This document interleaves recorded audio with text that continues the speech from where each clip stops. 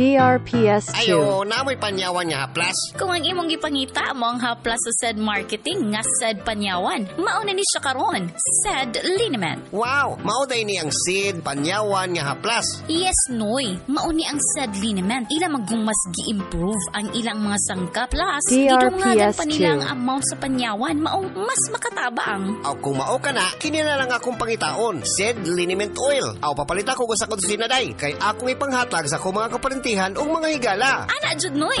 Said Panyawan Liniment Oil, ginama sa Seed Farma, ug apod-apod sa Said Marketing.